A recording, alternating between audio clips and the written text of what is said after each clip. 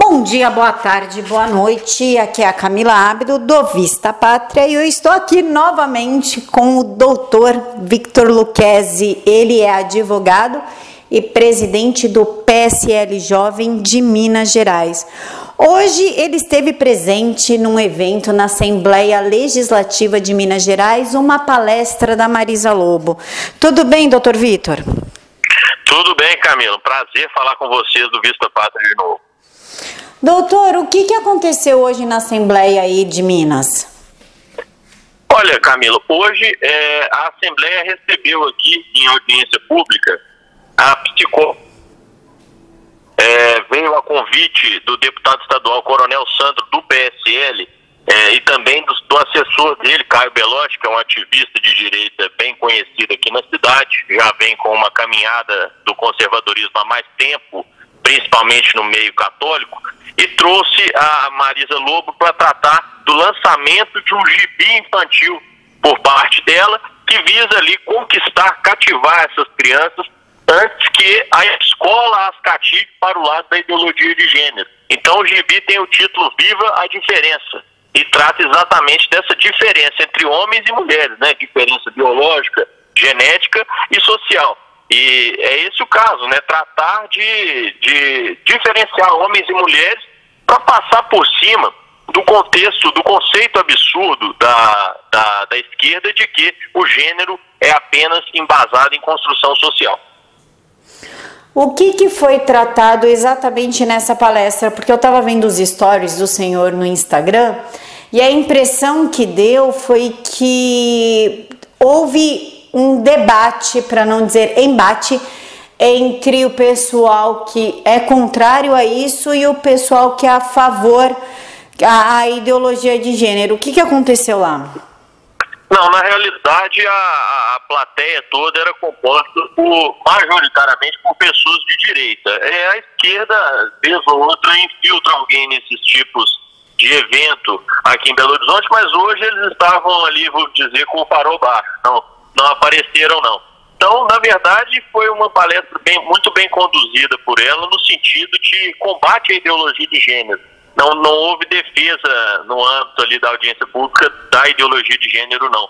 É, foram dados que, que foram repassados para os é, é, membros ali da plateia em relação a, diferenças mesmo é, científicas, né? Porque é fácil bater em ideologia de gênero se respaldando com o discurso bíblico, religioso. E não é isso que a gente procura, né? A gente procura ganhar da esquerda dentro do argumento que eles usam, que é a ciência como soberana sobre a religião. Então, ainda que seja simplesmente uma análise científica, biológica, a ideologia de gênero é absurda por si só, porque ela vai contra o método científico, vai contra a biologia, vai contra dados muito claros, como, por exemplo, as mais de 1.559 diferenças genéticas entre homens e mulheres, que foi um dos é, pontos que foi abordado hoje lá na palestra.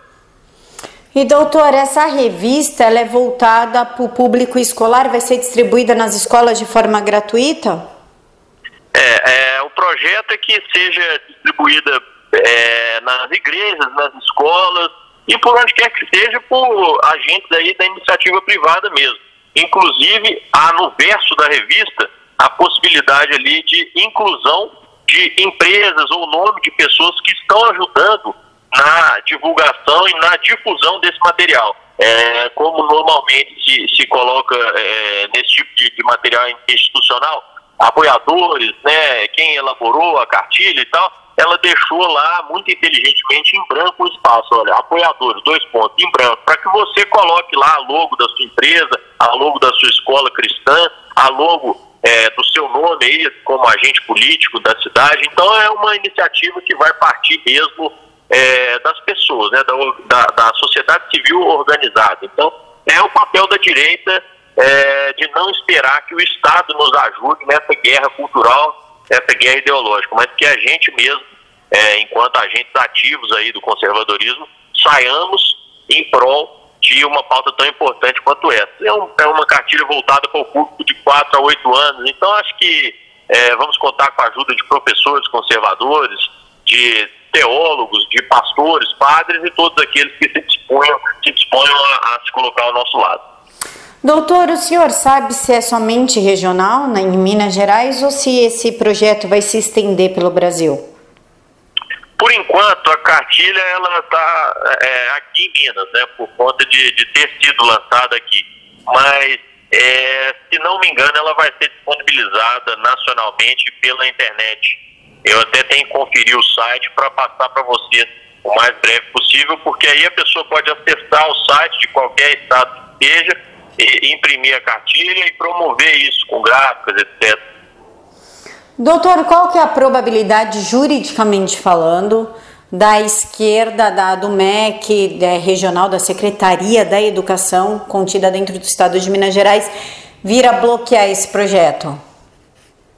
Aqui em Minas Gerais, eu acho que a possibilidade é pequena, porque embora a Secretaria de Educação ainda esteja um tanto quanto aparelhada pela esquerda, que ficou do governo passado, que era o governo do PT, do Fernando Pimentel, é, o, o, o, nosso governador, Romeu Zema, é do Partido Novo, mas é, contrariando a maioria da, das fileiras do Partido Novo, ele é um conservador, embora tenha derrapado muito com a gente aqui por conta de uma subserviência que ele tem a, a, a, ao diretório do Rio, o diretório carioca do Novo, que é controlado plenamente pelo senhor João Moedo, ele é um governador que já demonstrou várias vezes ter lealdade ao Bolsonaro e acreditar na, na tese conservadora frente à, à ideologia progressista do Partido Novo.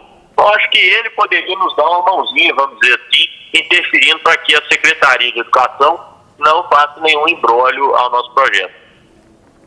Doutor, o senhor quer deixar algum recado aqui para a galera que está ouvindo? Porque no Vista Pátria tem muito empresário, tem o pessoal de gráfica, né? Tem um pessoal aí bem engajado que tem meios de ajudar a produzir esse material. O senhor quer deixar algum recado para eles? Claro, eu deixo o recado de que nós precisamos da ajuda de vocês. Nós, conservadores, nós, vamos dizer, agentes políticos, precisamos da ajuda dos agentes privados aí, os empresários, é, os, os é, membros de entidades do terceiro setor, e todos aqueles que tenham gráfica, por exemplo, que se dispor, possam se dispor a imprimir, a distribuir essa cartilha, a passar para frente, aqueles que são é, proprietários ou professores mesmo de escolas infantis que trabalham com crianças de 4 a 8 anos, que façam essa distribuição, né, imprimam no site esse material de alta qualidade. A, a, a nossa psicóloga Marisa Lobo, ela tem um currículo invejável, ela lutou contra a, a entrada da ideologia de gênero no currículo nacional de educação.